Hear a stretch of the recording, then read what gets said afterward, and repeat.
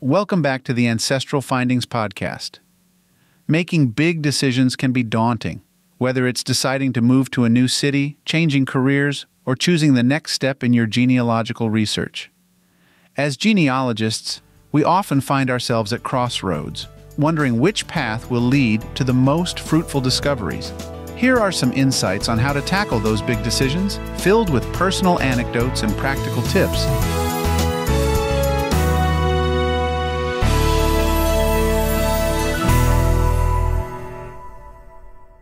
First, let's take a step back and look at the big picture. What are your goals? Are you trying to break through a brick wall in your research? Maybe you're debating whether to invest in a new genealogy tool or take a research trip to Europe. Reflect on what you hope to achieve. For instance, I remember when I was deciding whether to dive into the German and Swiss settlers in America over 20 years ago. It seemed like a big commitment at the time, but reflecting on my goal to trace my German ancestors helped me make the decision, and it turned out to be one of the most useful resources in my genealogical journey. Once you have your goals in mind, gather as much information as possible. This step is crucial. In genealogy, we know the importance of thorough research. Apply that same diligence to your decision making process. Look for reviews of that new genealogy software, talk to other genealogists who have taken similar research trips, and read up on the places you're considering visiting. I once faced the decision of whether to visit the Walt Disney Museum in Marceline, Missouri. It wasn't directly related to my genealogy work, but my wife and I love history, so we did our research, and the trip turned out to be an incredible experience, filled with rich history and inspiration for my genealogy projects. Creating a pros and cons list is a classic but effective method. Write down all the potential benefits and drawbacks of each option. This visual aid can clarify your thoughts and help you see the situation from different angles. When I was considering starting my Genealogy Gold podcast, I listed the pros, like engaging with a broader audience and sharing my passion, and the cons, like the time commitment. Seeing it all laid out helped me realize the potential impact and ultimately led to a rewarding venture. Don't hesitate to seek advice from friends, family, or fellow genealogists. Sometimes an outside perspective can provide insights you hadn't considered. They might have experience or knowledge that can shed light on your situation. While data and advice are essential, sometimes you just have to trust your instincts. That gut feeling often stems from a deep, subconscious understanding of your needs and desires.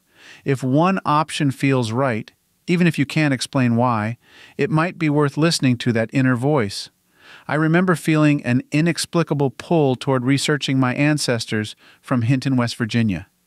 Despite having limited information initially, my instincts told me there was a story worth uncovering. Trusting that feeling led me to some of the most profound discoveries in my genealogical work. Think about how your decision will affect you in the long run. Will it help you grow as a genealogist? Will it bring you closer to your goals? Sometimes the benefits of a decision aren't immediate but can be significant over time.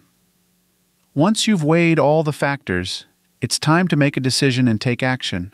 Remember, no decision is set in stone. If things don't go as planned, you can always adjust your course. The key is to start moving forward. When I first started using the German and Swiss settlers' records, it was a leap of faith. But taking that action opened doors to countless discoveries and connections I hadn't imagined. After making your decision, take time to reflect on the outcome. What did you learn from the experience? How did it help you grow? Even if things didn't go as planned, there's always a lesson to be learned. For example, our trip to the Walt Disney Museum in Marceline not only enriched our understanding of Walt Disney, but also sparked new ideas for my genealogy projects and newsletters.